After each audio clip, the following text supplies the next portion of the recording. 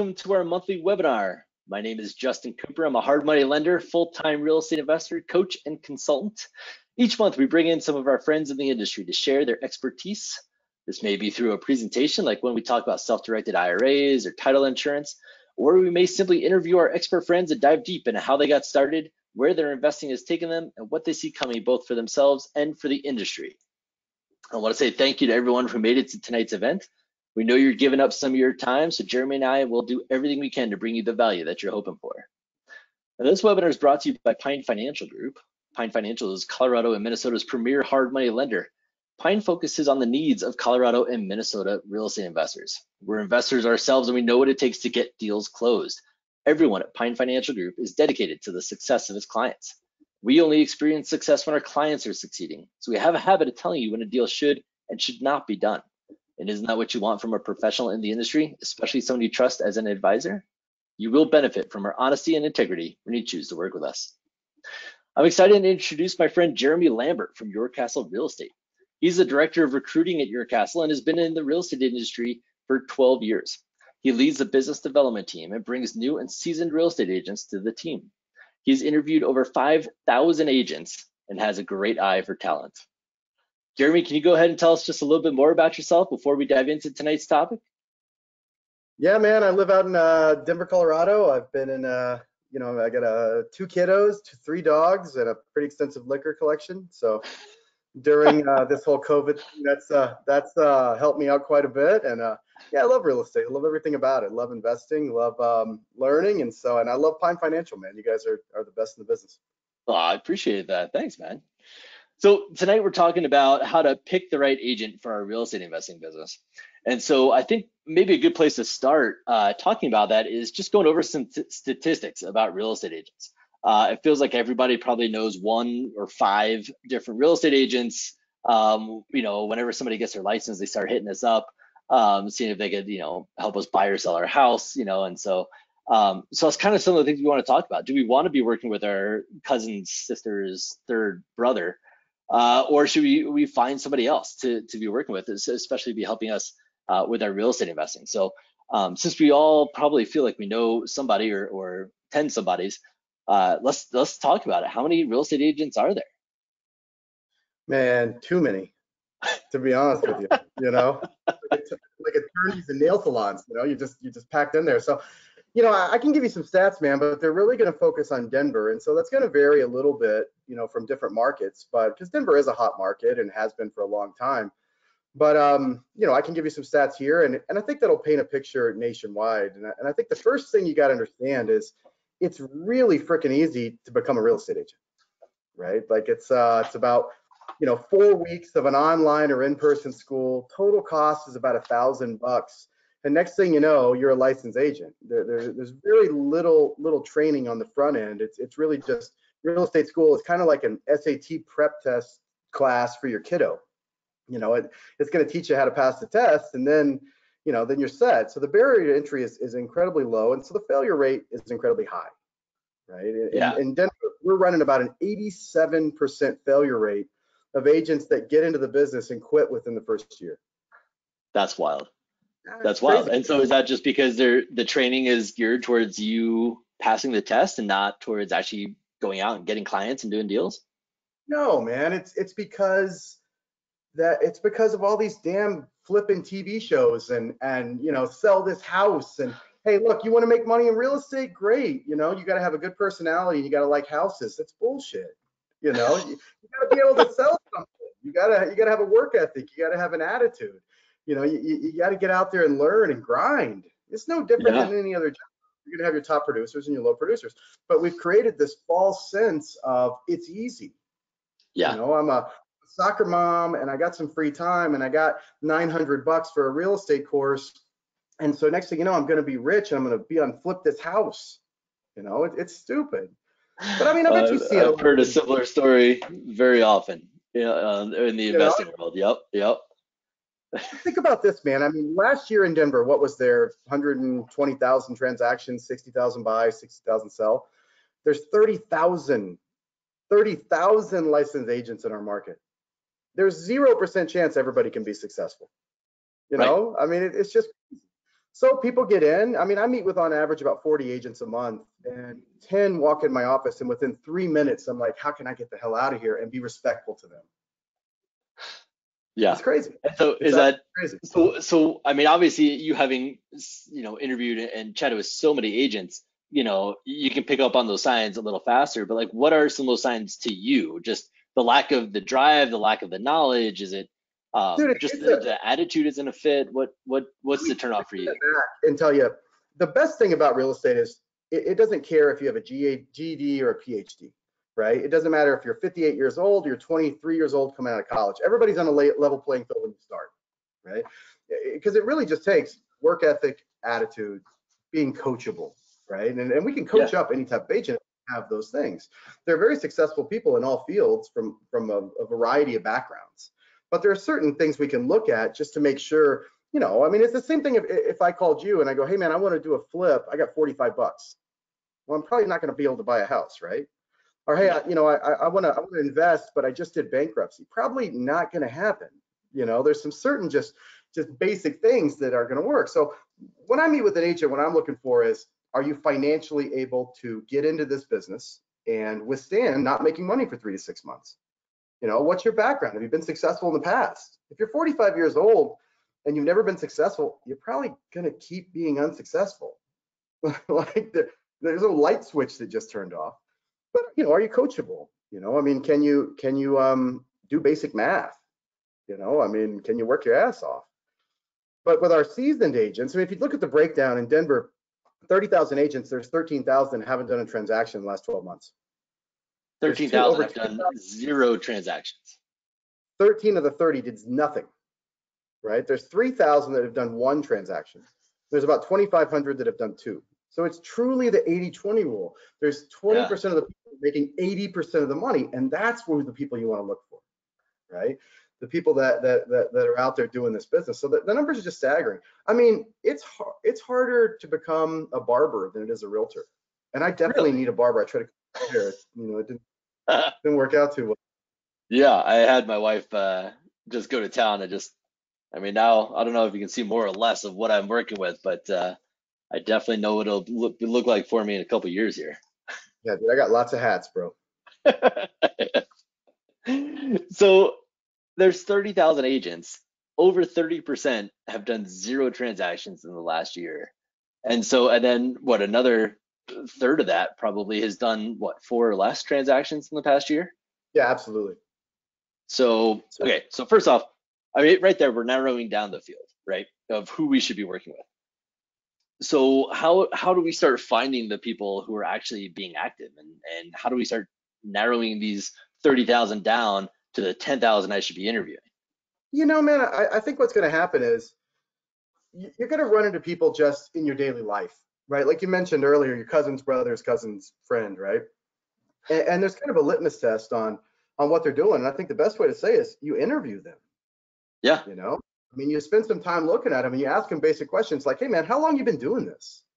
You know, uh, is this your full time career? I don't want to work with someone who's part time, and the main reason is they're part time, right? Right. Like, I need you. I'm paying you. You earn a commission on my transaction. I, I need all. I want to get my money's worth. You know, Yeah. and so I also want to know, do we match up, right? Like personality wise you know, I mean, if somebody came up and said, "Hey, Justin, I've got a deal that's so unbelievable that you're going to make so much money, it's that diamond in the rough, and I'm a scumbag," you can still look at it. But that's not going to be a long-term approach to someone you build a relationship with to finding new property. You know, personalities clash, man. You want to kind of like the person. You're spending time with them. You got to trust them. You know, are they bringing you good deals? Do they care, right? But the main thing to look at is just simply production. You know, if somebody's doing production you know th- th- they're they're a seasoned agent they're doing business. But i think it's tricky when you look at that because you want to see is where's that production coming from? Hmm you know a couple years ago we told this story there was a guy with a, a local real estate office in my market and he won this award in his company and i saw it all over facebook. Look at me i'm the big producer right? And um you know and so i went in and i pulled the numbers on how much money he actually made. So he did something like 10 million in sales which would be about 300000 in gci guy only made about 80 grand because he just he was a, he was just discount guy. You know, he was a volume. Oh, So you want to look at things like that, right? You want to look at, um, you know, where their business comes from. I could be a really high producer in real estate. I could be really polished, and I could not know what a cap rate is. Yeah. Well, so You know, so I'm- let's go back to that that other guy you were just mentioning though. So I mean, if he's doing the volume, right? Why? But he's only making whatever you said, eighty four thousand dollars. Like, why is that a bad thing? That like how how does that equate over to someone I don't want to work with or potentially don't want to? You know as well as I do, man, that you got to pay for quality. You do, right? You, you know, I people come to Pine because they know you fund deals, you fund the right deals, and you know it, it works. You know you're going to get support on the back end, and and and your value justifies your cost. It- it- there's a brokerage in my in my hometown of Denver called Trelora Real Estate, and they're they're a good brokerage. I don't want to talk any shit, but I'm going to. But they um they're all about cheap, cheap, cheap. Try getting them on the phone, right? You have a problem, Sure. tough shit. You're not paying for Yeah. support. You're paying for cheap. You know, I mean, so you know, it, it, it always has to justify. And I know investors. I know a lot of guys. I talk to on a regular basis. Like, we got to squeeze every dollar out of this deal. You know, I, I see it every day. But at the same time, you pay for quality, man. You you, Yeah. you really do. You got to look at things too, like is this agent a pri am I a priority for this agent? Because the guy that made 80 grand, you're not a priority. You- You're just a deal. You know, he's got 15 more he needs to do to try to hit his numbers so he can get a shiny trophy at the end of the year. Like, Yeah. it- it's not about you. It's not about maybe your investing strategy. It's about volume. Gotcha. So- Yeah, that's awesome. So so how could we understand that? So I mean, if if I'm just trying to understand this agent, I'm trying to get ready for an interview. Like, do I have access to see that GCI and their income and all that stuff, or how can I? Or what what questions should I be asking to help figure that out? you know, show me your recent transactions. You know, for, for me, I have access to all this data. The consumer doesn't. But what you Right. can do is Zillow does a great job of tracking the agent's production. Another thing is show me the last 10 transactions you've done. And then here's a here's a you can get this from Joe Massey or from you. Like here's a quick deal analysis thing. Take those transactions and pretend like they're rentals and show me what my return would be on these fill this out and email it back. You know, like t- tell me, tell me how you're going to make me money because you're making money, right? Agents get a commission on a deal. It's a sizable commission. They got to earn it. You're going to make money. Show me my return. right? yeah, Make it spell it out and test them. Test the crap out of them. We do this thing when we hire employees, especially on the admin side. We say to, hey, are you proficient in Excel? What do you think everybody says? Yeah, Yes. of course. I love Excel. I'm great. Great. Can you do a VLOOKUP? Uh, yeah, of course. Okay, do one. wait, what? Right? Right Yeah. now? Oh, I mean, did I say proficient? Right? I'm Oh, sorry. I- I didn't not, this that. isn't my keyboard. I'm not familiar. So what you do is you just say like, hey, look, here's a basic, um, here's some basic software that does deal analysis. Pick five properties, run it through, and send me a copy and show me. You could even ask him like, what do you feel like is an acceptable cap rate in this market? Yeah, I don't know. and all of a sudden you're you're separating, right? You're you're feeling out who actually knows what you're even talking about, right? I mean, there's Well, yeah. probably agents out there that'll say, "How do you spell cap rate?" I also want to know too, like what percentage of your business comes from traditional buy and sell real estate, and what percentage comes from investor? Yeah, You know, and and, and listen, there, it's great to have a high producer feeding you deals, but it's also great to have a young, eager agent who will dedicate time to you. You know, Mhm. if you're willing to pull the trigger on deals, there's nothing wrong with that that new guy, but you just got to make sure that you're a priority. You know, like, look, I've got X amount of dollars. You go bird dog the MLS all day, find me property. I'll pull the trigger. But I want to know a priority because what tends to happen is the relationship between some investors and agents is such a user. I want to use you. I'm going to get yeah, you go do this. Maybe I'll buy from you. You know, it's better to find somebody who says, "Hey, look, I'm committed to help you grow your portfolio in in, in multiple ways. We got to do this together." You know, and you just feel them out. You know, track their work ethic, track how many emails you're getting. You know, track, eh, you know, and, and ask them too. Like, show me the last 20 transactions they're getting and see who they're going to. So going to meaning like if they're working with investors, are they all going to one investor, or are they more investor versus uh, retail? Or I used to tell new agents to go out and, and go to the investor clubs, you know, like go to the different meetings. When you guys were running your stuff back in the day, the happy hours and all those things, it's a great place to walk in as a new agent and there's a room full of people for potential clients, right? It's a great Absolutely. lead generation spot. Yeah. Still, you know, John Fisher's Breakfast here in Denver. There's there's a bunch of different places you can go to, to align yourself with different investors. The problem is, do they do the agent know what the hell they're talking about? You know, are, are you know, can I walk in there with with five deals and say, here's a good rental, here's a good flip, here's a good VRBO, right? But the, the thing that tends to happen is, is that I build up a stable of investors. I'm going to have my favorite, right? I'm going to yeah. have the one that pays me the full commission. I'm going to have the one that's easy to work with. I'm going to have the one that has the right vendors set up. So I don't worry about funding, right? If I'm an agent and I see Pine is my, I know they're going to close. Like I don't have to worry about it. If I see XYZ, you know, Johnny Reno, you know, hard money lender on the trunk of his car, that's probably not going to work, right? Yeah. like, like, so, you know, uh, it's just, I, so I'm going to go down the list. And if I find this great property, I'm going to start with my number one guy and I'm going to say, you know, hey, listen, Justin, I got a 3-2 in this part of town with this type of return. It's not on the market yet, but I want to share with you. That's what you want, right? Yeah, absolutely. I want those off-market pocket deals. I want to be the a number one priority. Absolutely. So you got to build a relationship with the agent that's going to bring you that stuff. And a lot of younger type investor agents are great for that because they don't have the sphere to do traditional business. It's just right. building up the, building up the, the relationships.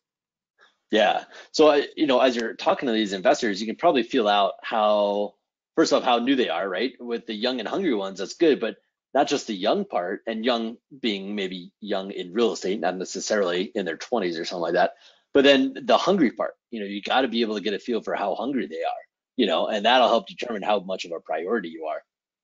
So I think Remember, that's uh, probably, uh, yeah. Yeah, there's a guy in Denver uh, who I'm really fond of. His name's Terry Wentz, and he's a great agent, great realtor. I know you know him, right? Years ago, probably 2011, he took a couple new agents under his wing.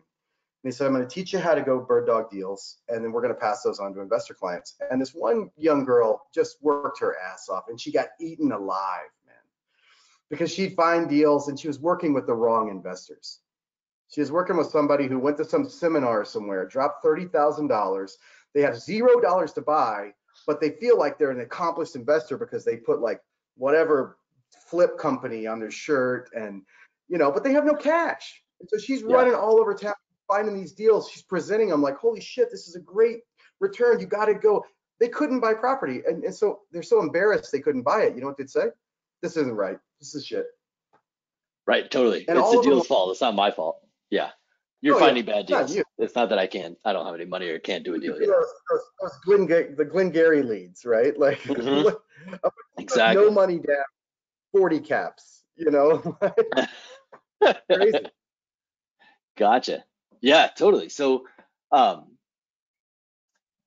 so, so for those new agents, is there any like tips or tricks, or is it really just talk to a lot of agents to kind of feel them out and, and understand their, you know, how much tenure do, they have, how many years of experience? You know, maybe a lot is better, maybe a little is better. Maybe you want two on your team, and so one of each.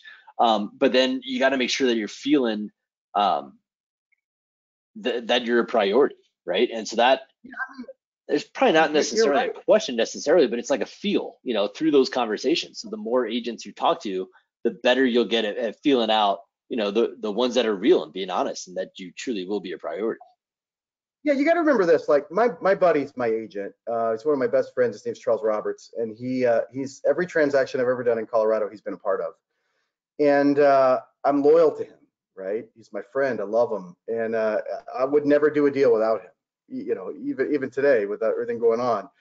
But if I, as an investor, I'm not fucking loyal. like, bring me the deal.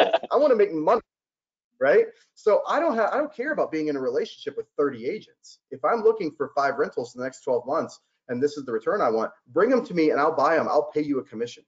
You won't have any problems. You know, it's like it's like Lon Welsh, who owns my company, is, is an incredibly seasoned investor. He'll call agents and say, "Here's what I want. You go find it. You you know, and if, especially if you're the listing agent, you can double end it. You can have both sides of the commission. I don't care. I just want the deal. Yeah. You know, so if I were to move into a new market, I know you're in Minnesota, right? Uh, yep, we're in Colorado, we're in Minnesota. Yep, a little bit of Wisconsin. So I picked up my family. I moved into Eden Prairie. I got some buddies up there, and uh, I moved up there, and I go, you know what? I need to build my portfolio out. I'm probably picking up the phone, and I'm going to call probably 10 real estate companies, and I'm going to get the, um, and I'm going to get the, the, the, the receptionist on the phone and I'm going to ask, hey, listen, I want your top producing um, investor agent and I want your, your rising star investor agent. Give me their numbers. The receptionist knows who people are in the office. She's yeah, going to say, oh, you know, Billy, he's, he's our your number one guy and I'm going to interview him. And then she's going to know everybody and say, you know, I really like Jimmy. He's new, he's aggressive. And then I'm going to screen him, dude. Yeah. And I'm just going to keep doing it until I build 10, 12 good relationships. And I'm going to say, look, I have cash or I have hard money. Here's what I want to do with that money. Go find it. Go find yeah. it for me and bring it back here. And I promise you, I will buy it and I will pay you a commission. So we hear go, about go back agents. to this, Justin. Yeah. When we talked about the failure rate being so low, one thing it does do you have to watch out for. It brings a lot of desperation. Yeah. I mean, desperate desperate people do desperate things. They say desperate shit. They they do desperate deals, right? And so that's one thing to really watch out for. Yeah, that's uh that's really interesting that you say that because I kind of I've always had that feeling. You know, uh, never really been able to prove it, but you know, way back on my very first deal, um, I felt like the agent I was working with was in that situation. You know, and um, now granted it was my first deal, I was super ignorant, so I'm not I don't put blame on them because I didn't know what I was doing, so I couldn't vet them properly or anything. But but yeah, I, I worked with someone who was a friend of a friend uh, and I went into their office to meet with them one day, and you know, I had gone through the Guru seminar, and they had the same Guru seminar book next to their desk. So I got this warm fuzzy feeling like, hey, we both been through the same Guru, right? We should we should be able to knock this out of the park. Um, and you know, Monday morning quarterback in the the deal just, oh my gosh, you know, the the comps was just uh, like a screen print of the three lines of the three comps you know no details no pictures and, and maybe i could have clicked through and done more myself right but I didn't know. I was hoping someone could have held my hand, you know, and they didn't. And uh, and so looking back, maybe it was like they just needed the paycheck. You know, maybe I was going to be their one deal this month or their one deal this quarter, their one paycheck. And so they did the bare minimum to get me across the finish line. And and I'm not blaming anybody. You know, I I take full responsibility for myself for not uh, doing my diligence, but 100% agree with that that desperate uh, mentality. Yeah, you got to realize you, as the investor, you're in the place of power, right? Like you're going to control the process, you're going to control the purchase. Make them earn it. I mean, uh, you know, even in residential real estate, the average home sale price in Denver is right around 500,000 right now. That's a $15,000 commission. I'm happy to pay it. Just earn it. Right. Just just earn it, right? Like if yeah. I'm doing a flip on the back end, I want to see high-end marketing. I want to see I want to see beautiful shit coming out because I'm giving you fifteen thousand dollars, right? Like, yeah. Earn money, right? And and a lot, and our twenty percent of agents who are successful, they're out there doing that, and they're going yeah. the extra mile, you know, and they're teaching classes and they're educating their people. But you know, you find those other ones, it's tough. You know, so, so tell me more about this. Tell me more about this marketing stuff, right? Like, what what would be the high end marketing? You know, if I'm newer or if I've been, you know, trying to you know be uh, mindful of my costs and and go the cheaper route. When i'm if i start changing my mindset and saying okay i'm willing to pay someone but what should i expect for that? What is that high end marketing? What what should i be looking for? I mean let's just say you, you're a flipper and you you you busted your ass on a product and you're about to hit the market and you know you, are talking to an agent you say listen i want you to list this property but you know margins are really really tight for me so i can only give it to you for maybe you know a flat rate of $2000 Let's just say that because that, that's real life. That happens. Yeah. And I go, great, man. You know, I, I'm desperate. I'll do it. I still got to pay my company a fee. That's how real estate companies stay in business is they collect a portion of the agent's commission. Every real estate company in the world, all real estate agents are independent contractors. So let's just say I said, you know, um, I'll do it for two grand. I got to pay my company 20% of that. You know, I'm walking with, you know, 1500 bucks. Then I got to pay taxes on that, right? How much am I really oh. making? So when I go to pick my photographer to take pictures, you think I'm getting the best? No, you're walking through with your iPhone. Oh hell yeah, I'm walking through with my iPhone. You think I'm doing open houses? You think I'm marketing that product? You think I'm paying extra for Real Realtor.com? And it's okay if you're in a super super hot buyer's market, but listen, the whole country is not in a buyer's market right now. We're in a COVID market. Virtual showings are real. People are buying yeah. property unseen, and you know what? That shit ain't gonna work on an iPhone. like you, you know, it, it's tough right now. People aren't leaving their house. They still got to buy property. Showings in Denver yeah. are crazy. Right? So, you know, if, if I'm a good agent, and let's just say I'm making 10, 12 deals, 2,000 bucks on the deal, I'm going to really bust my ass to make sure I market that property to get top dollar. Because here's what you got to realize. If the investor makes more money in the purchase of the price of the house, guess what? I make more money in commission. Right. Like I want the investor to maximize their profit incredibly. So, so I want to maximize mine. Like we're in this together. You know, it's just yeah. it, it's yeah, I think that's that's huge, right? I mean, because we are in all in it together. The more money I make, the more money you make, vice versa. So yeah, it's worth paying a little extra if you're gonna have someone negotiate harder for you, put together better marketing. Hundred percent agree. Hey, um, one more, if you don't mind. Yeah. No, please. Writing a real estate offer isn't just this crap you throw on a spreadsheet and you send over. In, in, in, a, in a hot market, the way you write an offer can really decide if you get the property or not. And, and there's an art to it and an experienced agent knows how to do it and they know how to write it the right way and they know how to maximize cash and they know how to maximize no inspection when somebody else may not you know when you're in a competitive situation that experience really really shows and and, and one thing when you're going to hear me talk about commission commission i'm not one of those guys that's going to sit up here and tell you that every agent should make full commission on every deal right you know if, if we're in a long-standing relationship we're doing multiple deals i'm going to ask you for a break if i give you the buy side on a flip and the sell side on a flip, I'm going to ask you for a break. And there's nothing wrong with that. You know, it's just it's just knowing your dollar per hour and realizing cheap is cheap, bro. like for a reason, and that's why their burgers yeah. are three bucks, right? yeah, I mean that's such a good point. Um, so yeah, you want to pay, right? Uh, be willing to pay with the expectation of getting good value for the money you're paying but at the same time it's it's still worth talking about it and negotiating and, and finding that balance right of how much value can i get while still trying to you know get a, a good deal if you will you know for our real estate agent uh, I, I think that's huge i mean and it's and it's going to be an ever evolving conversation because if you're the first time you're meeting with an agent and you're trying to work with one of these top producers you know you got to put up first right you got to show them that you're actually closing, you know, 10 deals a year, or something like that. And maybe you have that that uh, portfolio and you can say, here's the 10 deals I did last year, right, to entice the agent to work with you. But if you're just promising I'm going to do it because that's what the guru told you you could, that's great. You know, I'll believe it when I see it. Let's get through our first deal together. Yep, absolutely, man. There, there's a lot of, you know, another avenue that you might explore is there's a lot of investor agents in town that uh-huh. are exceptional at finding deals in the MLS. So a, a good thing to do is look who has listings that look like flips and call the listing agent because they, they might have done that flip themselves. And right. then what you do is say, hey, look, tell me what you look for in a flip. And they might say, I want this area of town. I want this amount of, um, of work to go in the property. And um, I don't want to scrape. I don't want to, you know, pop a top. I'm more of like lipstick type flip. Somebody like that is really good at finding what they want, but guess what? They find a lot of other stuff. This just doesn't fit their category. So you could say, hey, you know, I know you're you're specializing in this. I'm specializing in this. You run across something. Keep me in mind, man. I'd love to work with you on a deal. There it is. Just that's that's the script right there, right? if you're watching this on YouTube, back this up and and write that thing down. That's beautiful. But there's going to be a time when they actually call, and this is where you got to get your ass off the pot and actually do it you know? Because if they call you once, they go, hey, Justin, we had that conversation and I've got this property. I think it'd be perfect for you. Um, you know, we, we, should go take a look at it. If you go, well, you know, I, I got to do laundry or something, um, they're probably not going to call you again.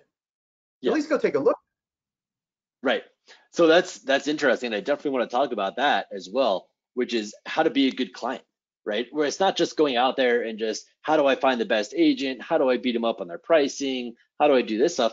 Uh, the other side is how am I going to be a good client to this real estate agent? And so that's a super important uh, point, and I and I definitely want to come back to that as well. Um, but I think I want there's a few more things I bet we can talk about on finding a good agent before we worry about working on ourselves to be a good agent. So yeah, man. I'm, uh, no, go ahead. I, I think one of the good things is you, you want to ask the agent, are you going to be available? You know, are you going to pick up the phone when I call? Um, you're going to want to see what kind of company they're with. And you're going to ask them, like, what kind of support do you have on the back end? Like what kind of support do you have? Not only marketing, but also transactional support. Like our company has seven full-time managers that all they do is review documents and help guys through deals. And you know, there's some wacky stuff out there. There's cell phone towers in the middle of a listing. There's gold mines here in Colorado, you know, land deals, horse property, you know, different things. You want to make sure that if they do stumble, especially if they're newer, that they have that support to ask their, you know, answer their questions and kind of coach them through these transactions. Yeah, that's that's a huge point because I think so many people just think real estate agent goes and finds deals, right? And and yeah, they they're with XYZ company, but nobody thinks about all that back office stuff.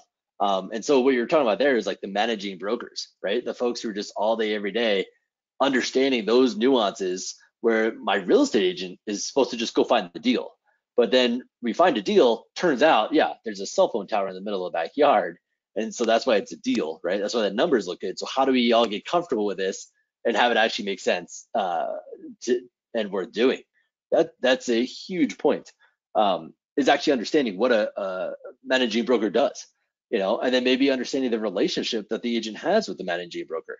You know, if you're doing a ton of deals, you're probably talking to this person every week, every month, a couple times a week, and you know they'll get better support through the deal as well. I mean, you could also do like think about it, man. If we want to go to a restaurant, we can Google the restaurant and, and Yelp will tell us 15 reviews, bunch of pictures of the food. We don't have that luxury in real estate. But what we can do is go to your local real estate commission website. In, in Colorado, it's called Dora, and you can look up the person's license number, and that'll tell you, hey, have they ever been in any sort of trouble with the law? Have they ever had any kind of reprimand from the state? You can also ask, hey man, give me 10 of your last clients and give me the property address. You can go into public records and make sure that the that, that it makes sense, that it's the right name with the right house, and give those people a call. Hey, how'd you like working with Justin? Did he return your calls? Right? Did did he did he feel like you were important to him? You know, how was weekends and how was maybe some after hour time where he had questions? You know, did, did he earn his commission? And that'll tell yeah. you everything you need to know. A little yeah, bit of legwork is not yeah, absolutely. You got to do your diligence, right? If we're going to be doing all this diligence on the property, why not start before that and I should do diligence on our agent and make sure they are who they say they are? We're going to do the same thing for the property, make sure the property is what it says it is, right? So why not do that for our agents? That's a it's such a, a great point and somewhat easy to do, right? I mean, it's to a certain extent we can look up, you know, they're they're buying and they're listing properties, whether they want to tell us or not well, I mean, probably if they're not willing to tell us, that might be a red flag. But uh, but yeah, and then just reach out to the person however we can, right? I mean, we know their address. it's real estate, right? Worst case, you go and knock on the door. With a quick LinkedIn search, you can tell how long they've been in the business. Yeah, yeah, super easy to do that diligence, and that's interesting with the Dora. You know, look them up and see if they have any violations or anything pending against them. Um, so are there like if there were like just any violation a red flag, or is there some like maybe we shouldn't worry as much about, or how often does does Dora get involved? I mean, you know, a, a, guy could have done something wording wrong in a contract. It's going to spell it out. It's all public information, so you're going to see it. What I'm looking for is, you know, did somebody do any fraud? Anything with mm-hmm. with you know mishandling money? Were there any just blatant you know deception? Like, did I buy a property under the under the impression that you know, it was it was listed as X and it came out something different. You know, are there any errors and omissions insurance claims? You know, things that that I would worry about. Do they have a criminal background? You know, you may not believe this, Justin, but you can have a criminal background and get into real estate as long as a managing broker of that company says, I'll vouch for this person. So I had a guy a couple years ago. He came in. I said, "Hey man, you ever been in trouble or anything? You're a new guy. They're going to ask you with the state." He said, no, man, I got a clean record. Two weeks later, he calls me. He goes, hey, I need a letter from a managing broker saying you'll supervise me. And I go, well, you know, we got to dig in a little bit. He's like, I was nothing. You know, I just shot a guy and did a home invasion. And I said, well, I'm sorry, we can't work with you, right? Like, you can't be shooting people. And what? And this was three years ago. So it's not like it was 25 years ago. The guy, we we declined to have him with our team. He's a licensed agent in Denver right now with a prominent firm. Think about that for a second. He home, he broke into someone's home, shot a guy, stole all the stuff, and he's gonna real estate. I mean, he knows his way around a piece of property, I guess. I don't know. I, I mean, knows the closets really well where he duct tape the people, threw them in. You know, it's just crazy. It's real oh dude. God. I had to go and report. You know, it's just I can't make this shit up. It's real. That's wild. That's wild.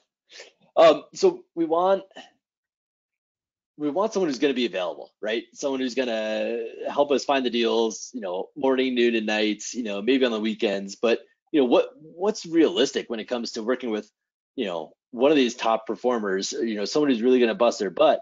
Uh, you know, what what can we expect of them? What's or maybe what's asking too much? Well, there, there, there's two trains of thought, right? I, I, got a really, really good agent with my company named Jackie White, and she's so dialed in. She's just really a, an amazing agent. If she calls you and she goes, "Hey, Justin, I found you that rental you wanted in Second Creek. It's going to be this price. We need to get on it." You, as the client, will know she's serious. She knows what she's doing, and she knows it's a good deal. You'll review it, and you'll make an offer right away, right? She won't give you the chance to abuse her right? She she's gonna say, you either buy this property or I'm calling somebody else. Yeah. The other one is the agent that they're just like a puppy. I'll do whatever you want. I want a commission. I'll do whatever you want. Agent, what I see is is a lot of investors tend to kind of abuse those guys a little bit because they're so eager, right? And they're like, uh-huh. well, go do this for me. Go run some numbers over here for me. Go do this for me. Go show me this, and you know, be available at nine at night. You know, I, I like I can't walk into a Target at midnight. You know why? Because they have business hours, and I accept that. I don't bitch right? Jeff White, my really good agent, she has business hours. My new guy, he's willing to do whatever it takes because he's hungry. So there's two trains of thought. Are they right and wrong? No, they're just different. Yeah, yeah, hundred percent agree. Um, and, and, I like that. I like that analogy of, of walking into Target and the business hours. That's awesome. And so as you're interviewing, you know, these potential agents, why not ask, right? Like have these frank and honest conversations up front and be clear about that, right? Because last thing I want to do is begin all pissed off that Jeremy's not returning my text messages at nine o'clock at night. But meanwhile, Jeremy's like, I shut off the phone at five and spend time with my family. But because we didn't talk about that, right? Now we're butting heads and we're getting mad at each other. It's setting the expectations, man. That's all it really totally. is. totally. It's like, you know, Sundays for me, man, it's family time. I got, I got two kids that I love more than anything in the world. And and, and I got to spend time with them. You call me on a Sunday, it depends on who's calling. I might answer, I might not. But on my voicemail, it says, "Don't fucking call me on a Sunday." well, there you go. there you go. Um, and so, what about working with an agent who has not, who isn't an investor or has not worked with an investor? Is that a red flag, or is that something we should be open-minded about? I don't know. I mean, let, us just say, you, let's just say you have a daughter that's engaged to a guy, and he's a really nice guy, and you like him. You kind of wish you wouldn't marry your daughter, but let's say he is, and and he goes, hey, guess what, father-in-law, I'm getting my real estate license. I know you're an investor. I'd love to count on that business. Put you kind of in a bad spot, right? Yeah. And this shit really happens. And so I go, all right, well, you know, show me some property, and you start to realize halfway through, like this guy really doesn't know what he's doing. I'd fire him. Like it, this is about the deal and it's about the return, right? The, the best thing is it's, it's kind of like I have an employee working for me that's struggling right now and he's got all these excuses. And I told him, you know, sales is very measurable. You know, you do this, you get this return. Investing is very measurable, right? So, so I, I think that, you know, I don't know if I want to let an agent practice on my portfolio, right? Like I, I can't afford that shit, you know? That's like saying, yeah. hey, you know? My wife wants to trade stocks. Let me throw him 60 grand in an account. Just let her play with it. No. it's the same thing with, with this. I mean, you want to help people out, maybe encourage them to go out and learn. I mean, there's so many resources out there. Pine, I mean, you guys do class after class after class. You know, let them earn it. But, you know, and if they bring you a deal that makes sense, work on it. And if they bring you 20 pieces of crap, let them learn on it but I wouldn't commit to anybody just because of uh, relationship. It's kind of like I almost bought a rental a long time ago because my my my cousin, my wife's cousin needed a place to live, and I talked to my friend Lon, and, and he goes, "Yeah, never rent to family." You know, so I, I guess I put it. in, I don't think I want to work with family. Yeah. Too much so, feeling, too much emotion. Right. Exactly. So what about uh, I think you were saying you know, you don't commit. So what happens if if an agent says, you know, yeah, I've got this exclusive agreement, right? And so is that just a hard no? Do I do I continue to potentially work with them, or do I just walk away from them? Or I mean, it's really tough, man. It's really tough because you know when you're in the residential sector and I and you meet a family and they say, you know, we want to use you as an agent. The exclusive right to buy is to protect the consumer and protect the agent. Is to protect all the work they've done. So maybe they go out and show you 40 properties let's just say the then the people go to an open house at that property and the, the agent there goes, hey, I'd love to work with you. In fact, I'm, I'm giving buyer rebates of $2,000. That's very enticing to the consumer, right? But it's uh-huh. kind of stealing, right? So right. for that situation, a buyer agency makes perfect sense. So, you know, as an investor, you choose. You know, I, I wouldn't, I would not be loyal as an investor. I would not. I would have multiple people out searching for property for me. When you find it, I will buy it and I'll sign this exclusive right to buy for this property. Yeah, yeah. Okay. And so you can do that. You can sign the exclusive for an individual property. It's not something I have to be locked in for six months. I mean, if I signed it, I might be, but like there's nothing saying I have to sign that or anything. Charles Roberts does thousands and thousands of deals. I don't think he ever signed an exclusive right to buy.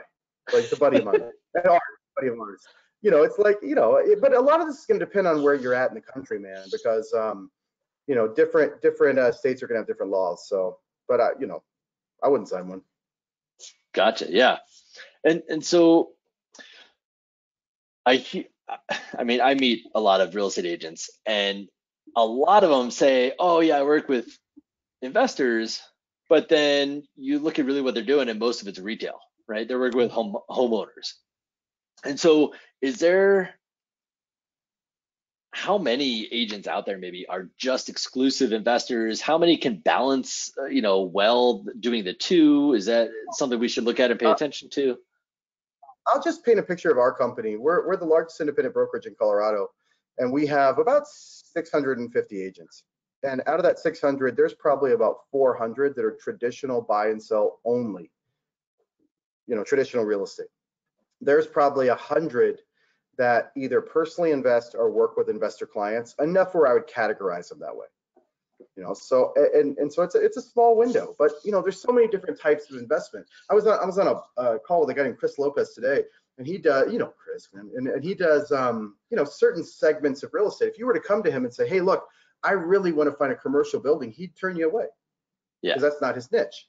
He's not experienced in that. If you were to come and say, man, I want to buy 15 VRBOs in Vail, he would turn you away because that's not his niche, right? He would refer you to someone who could do that.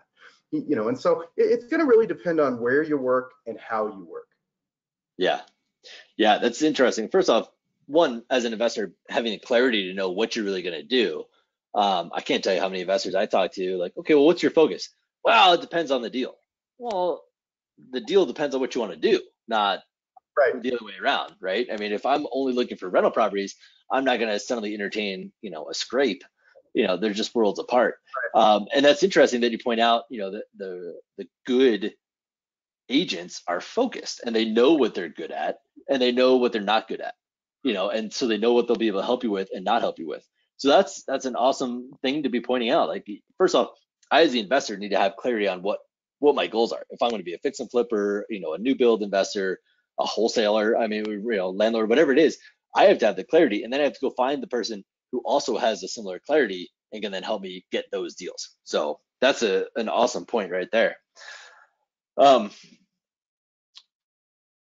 what else, did I have something else? Oh, so with these agents who have uh, who are investor friendly, uh, um, and and they have other investors, how can I set the tone? How do I know? You know, like Jackie White, you know, she's calling me because I said I like this deal and she's found that deal. But if I say no right now, or if I hesitate, she's calling the next one. So how do I know if I'm that first call, the fifth call, you know, eh, how am I, how do I know I'm not going to just get the scraps or is that just part of, you know, cutting your teeth in the industry? Dude, you just, you don't, you, it's all about relationship, right? I mean, it, it really, really is. Same thing with agents, they're investors. They're gonna they're gonna work their ass off to build a relationship where you can trust them, know them, you like them, you trust them. You know, so it's just relationship building. I mean, it, it, and it all goes back, in my opinion, to just the deal. If the deal's good enough, you know, you'll buy it. You know, I mean, shit, Justin, I could call you and be like, hey, man, I found a trailer park in Wyoming that's a 40 cap. You'd buy it. you know, like it, it, it really. but the, the, the, point is, you, you just don't know. I mean, yeah. a lot of it is don't be an asshole take the phone call, be available, take a look at the product. And when you reply on why it's not for you, don't just say this is shit. That's not going to work.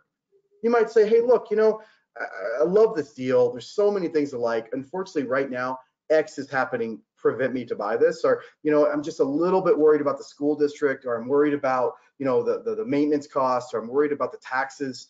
That way she'll understand. She'll go, oh, that makes perfect sense. And that'll help her understand what you want in the next transaction. Yeah, totally. Exactly. We're taking that focus, right? And we're getting narrower and narrower and tighter as to what we actually want on that so that then the agent can go out and find the right deal for us, right? What we're really looking for. And so you keep mentioning this, you know, uh, and so it's a good chance to to pivot over into how can we be a good client to um, to an agent. And so you keep saying like you got to be able to buy the thing. So I, I I talk to so many investors, and I feel like that is something that they miss. You know, they're out there, they're hunting for deals, and maybe I, as as a hard money lender, are one of the last people they call and all of a sudden they've got earnest money at risk. They've got agents who've been running around town searching for stuff. They got buyers who are assuming, you know, or sellers assuming that somebody's going to buy their house, and they don't have their financing lined up, right? Oh man, so, it's, that's crazy. That that is absolutely crazy to me, and, and we see it so much. And you and I have a mutual friend who's an incredible lender, and and uh, and you guys in hard money. I mean, it's it's amazing to me to talk to somebody and say, well, you know, hey, what are you doing? oh yeah, you know, I'm thinking about getting this fourplex. I go, great, man. You know, what, what what's the what's the, the let's drill down a little bit. How much you putting down? How much of this? Like, yeah, my uncle, he's got some extra money. He's gonna loan it to me. Wait, what? Your right. uncle? Like, you know, but let, us talk about this a little bit. Like having your vendor quite how that works. is fucking huge. And you don't even know how many people I talk to that are real estate agents that will call me and say, Hey, you ever heard of this lending company? Have you ever heard of this? You know, what's going on here? you know, in a market like ours where where you're getting multiple offers on a lot of properties, that's part of the writing the good offer, right? That's part of having your your package set up. So when you deliver it, they they're going to check the boxes. Okay, Pine, know them, you know, Castle and Cooke, know them, right? Solid, you know, and, and and you know, but having these these these crazy vendors are just nuts, man. I mean, it's yeah. just nuts. I had a guy yeah. a couple years ago come in and he goes, you know, I'm thinking about getting my license. And, and he goes, but, or maybe I'll just be a hard money lender. I go, cool. How much capital do you have? He goes, yeah, refund my house, got about $45,000. I go, you're going to be a hard money lender for like popcorn machines? Like, what, what are you talking about? You know, but he was serious. He like watched the YouTube video. You see it. It's crazy. Oh, I see it all the time. You go to some of these networking events, you know, and people can uh, introduce themselves, and it feels like half the room is like, "Oh, I'm a private lender. I'm a hard money lender." Like, what? No, no, you're Dude, you're calling me asking for loans. The, the, Investor Success Summit is probably one of my favorite events of the year, man. To, to go get the education I can get there and see the people I see there. But I remember once it was me and you. I don't know if you remember this. It was me, you, Charles, and I think Kevin or maybe um, Aaron Lebovic, and we're all talking. And I go, "There's 400 people in the room, right? How many? What percentage of this room has done a deal or will do a deal?" You know, there's a lot of people kicking tires, man. There's a lot of people wasting time. Why do you think you drive by a car lot on a Sunday and there's people out looking at cars? They're freaking closed. It's people dreaming, right? Right. Like, man, if I could just, you know, I'd love this Camaro or I'd love to get this first flip. So, you know, what you want to do as an investor to really earn the realtor's trust is show them, here's my yeah. portfolio. Have clear cut goals and clear cut you know, choice of this is what I want to do. My goal is this year I want to add three properties. Here's what it looks like. Here's the type of return. Here's what my financing look like. You walk into my office and, and you talk to my top producing agent and you come at it that way, I promise you she'll dedicate time to you and she'll work her ass off because you know what she sees opportunity. Yeah. And there's no doubt. You know, it's right. like, man, this guy, this guy's got his stuff together. Yeah, exactly. Exactly. And so if you don't know what that means, right, call an agent, you know, call Jeremy, call myself and say, hey, what does it take to to show someone I'm serious? You know, first off, just by making that phone call and being honest, saying, "Hey, I'm new and and I'm going to make this work one way or another, and I want to make sure I'm presenting myself in the right light and getting my ducks in a row." Just that first step is huge, right? Being being a little bit humble is is yeah, I mean massive. You know, and don't be afraid to not know everything. Like if you're yeah. a newer guy and you're just getting into this, don't be afraid to say, hey, you know what? We've been saving a long time. We're maybe not where we want to be in retirement, or I don't have the money to pay for my kids' college. I've got some cash, I've got some equity. I need help. And I yeah. need someone to guide me through this process, and I need to be someone I trust. So I, I need to get to know you, right? And I need to learn about you because, you know, it, it's like my financial planner. I trust that mother. You know what I mean? But I trust me, he got it. You know, like, yeah, it's just, you just got to be a team you know you're both you both can benefit from this transaction And so, you know, team up, make sure you have a good relationship. Again, yeah. I would never work with anyone I didn't like ever. Yeah, I mean that's that's that's huge, right?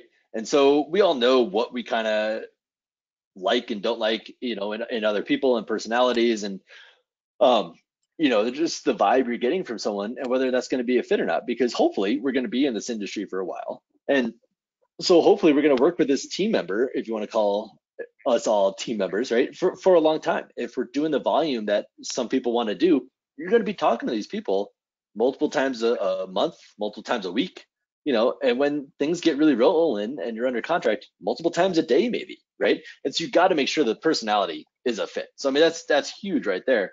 Um, but if you're going to be talking to someone this much, you have to be able to answer the phone.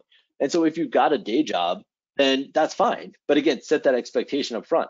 You know, I can text message at this time, I can return phone calls over my lunch hour, uh, and I'm 100% available from 4:59 and on, or or whatever the expectation is, right? But set that expectation, uh, and if it's within those times, answer the phone, right? Like I mean, what you were saying with Jackie White calling you with a deal, if you don't answer the phone, she's picking up, she's redialing the next investor, right? Her next client that she can yeah, get this deal moved to.